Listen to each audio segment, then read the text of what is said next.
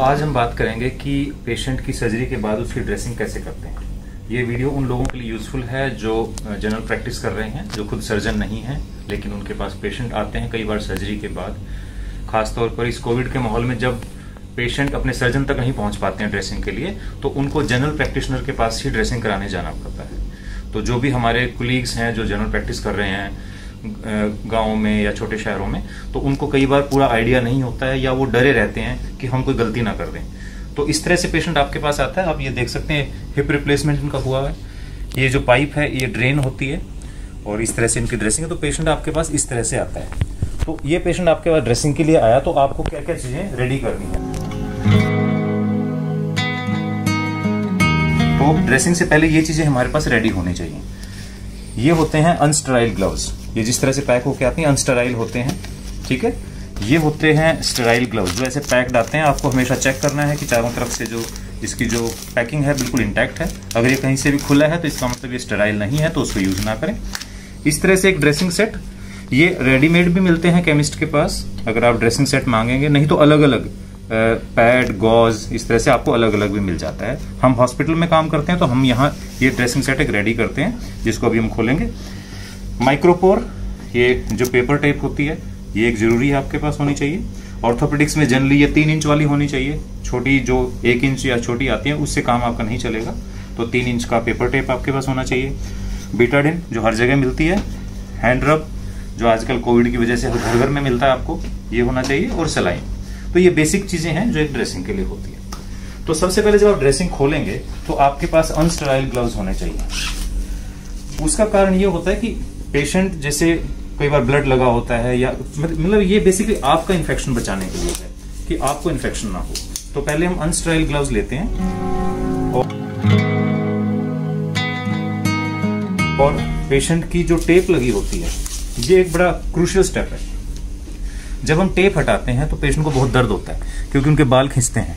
तो इसके लिए टेक्निक क्या है कि आप टेप का एक एंड खींचेंगे और दूसरे हाथ से स्किन को दबाते रहेंगे। तो इसलिए इससे पेशेंट को दर्द नहीं होगा। जैसे हमें ड्रेन नहीं निकालनी है तो हम ड्रेन को रिटेन कर रहे हैं अभी। तो ड्रेन को आप बिल्कुल नहीं छेड़ेंगे तो इस तरह से आप पूरी टेप को हटा देंगे। तो जैसे हमें ड्रेन रिटेन करनी है तो हम ड्रेन को ज़्यादा नहीं पुल करेंगे, हम बाकी जगह से। लेकिन घाव को कहीं भी टच नहीं कर रहे, क्योंकि मेरे ग्लव्स अभी अनस्टराइल हैं। स्टराइल ग्लव्स नहीं है ये। और आप ये देख सकते हैं, ये एमआईएस टेक्निक से हिप रिप्लेसमेंट हुआ है, जिसमें कोई स्टिच नहीं है। तो इस तरह से हम टेप को हटाते जाएँगे चारों तरफ़ से स्किन को दबाएँगे। टेप को खींचेंगे, लेकिन साथ साथ स्किन को दबाएँगे ताकि पेशेंट को पेन ना हो। ये बहुत इंपॉर्टेंट स्टेप है। और हम सारी टेप को ड्रेन की तरफ़ फोकस करेंगे ताकि ड्रेन को हम बिल्कुल लास्ट में टच करेंगे।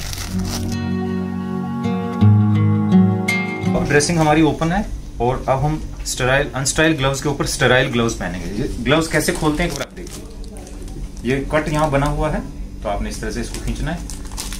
पूरा खींचना है। और ये पेपर भी स्टेराइल है। तो आप इसको किसी भी सरफेस पर ऐसे रख कर तो ग्लव्स पहनने का तरीका ये है कि ग्लव्स हमेशा ऐसे फोल्ड होते हैं तो आपने यहाँ से पकड़ना है और आप हमने लेफ़्ट पहना, इसको यहीं छोड़ दिया। राइट साइड में गए, यहाँ भी, यहाँ आप यहाँ से नहीं पकड़ोगे, यहाँ इसको आप ऐसे अंदर से ऐसे डालोगे ग्लव्स को। और फिर ये ग्लव्स पहनोगे इस तरह से इस ग्लव्स को पूरा पहन लेंगे, फिर वापस आकर इस फोल्ड को सीधा करेंगे। तो ये ग्लव्स पहनने का सही तरीका है। जब आपने ये ग्लव्स पहन लिए तो आप कुछ भी टच नहीं कर सकते हैं एक्सेप्ट द ड्रेसिंग साइड तो आपका असिस्टेंट आपकी हेल्प करेगा। तो ड्रेसिंग सेट तो उसको जब खोलेंगे तो ये जहाँ भी हाथ लगा रहे हैं, मनीष, ये अंदर की तरफ़ हाथ नहीं लगाएँगे। अंदर मैं सिर्फ़ मैं हाथ लगाऊँगा क्योंकि मेरे पास स्टेराइल ग्लव्स हैं। तो जो आपके असिस्टेंट हैं, वो सिर्फ़ बाहर की तरफ़ टच करेंगे।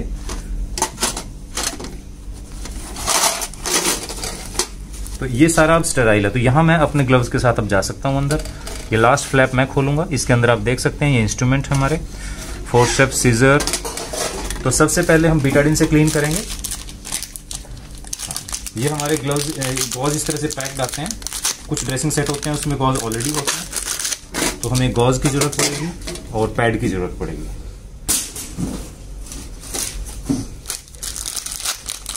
ये पैड जिस तरह से पैड आते हैं।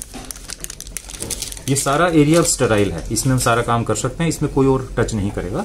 तो सबसे पहले हम बीटाडिन लेंगे। ये गॉज हमने इसमें डाल दी है बॉल में। और जब भी ये बीटाडिन डालेंगे तो डिस्टेंस रहेगा। कई बार क्या होता है, जो आपके असिस्टेंट होते हैं, वो बीटाडिन की बॉटल को इस पर टच कर देते हैं तो वो अनस्टराइल हो जाता है। वो गलत है।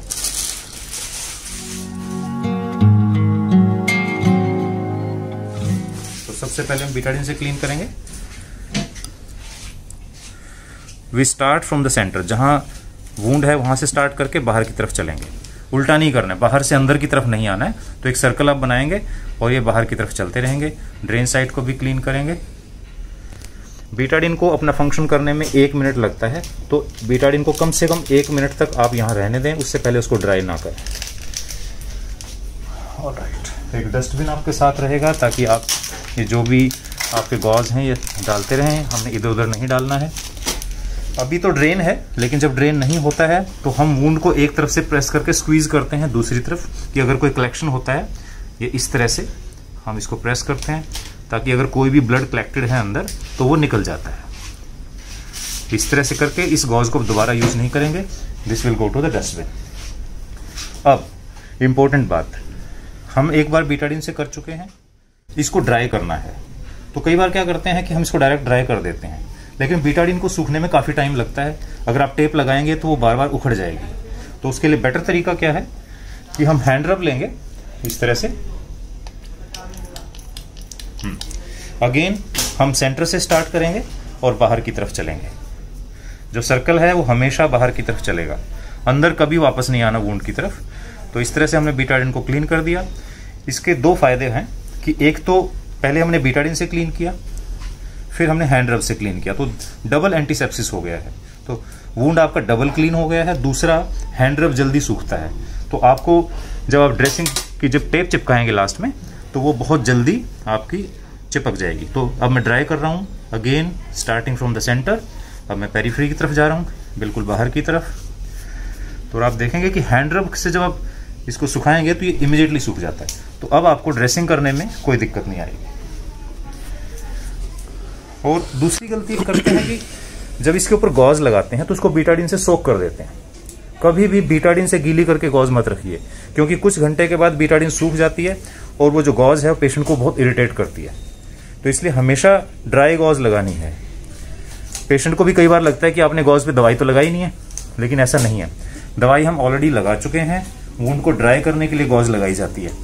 वूंड की हीलिंग इस गॉज के ऊपर बीटाडिन लगाने से नहीं होती है। इसी तरह हमने ड्रेन को भी सिक्योर करना है, एक गॉज लगाकर। इस तरह से आप गॉज इसके ऊपर लेयर बाय लेयर रखते जाइए।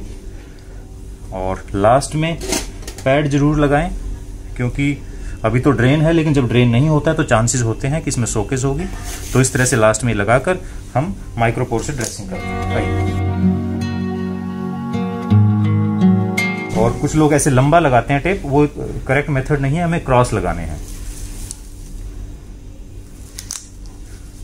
अब मैं हाथ लगा सकता हूँ स्टेराइल एरिया में क्योंकि ड्रेसिंग का काम कंप्लीट हो गया है। दूसरी गलती टेप में कई बार लोग स्ट्रगल करते हैं बार बार उसके एंड को ढूंढते रहते हैं। इसको ऐसे ऐसे करते रहते हैं, ये सिरा नहीं मिलता, उनको एंड नहीं मिलता तो बहुत टाइम वेस्ट होता है। तो इसका बेस्ट तरीका है, जब आप इसको खोलते हैं, आप अपने एक फिंगर यहाँ रखिए। आपने जैसे लगाया, इस फिंगर से आप ये फिंगर हमेशा यहाँ रहेगी तो आपको ये एंड बार बार मिलता रहेगा ढूंढना नहीं पड़ेगा आपका टाइम वेस्ट नहीं होगा। और टाइम की बजाय जितनी देर आप वूंड को खुला रखेंगे इन्फेक्शन के चांसेस बढ़ते हैं। अगेन ये टेप आपने लगाई और आपने फिंगर यहाँ रखी और ये देखिए हर बार आपको ये इसका एंड मिलता रहेगा। हम्म, लास्ट में।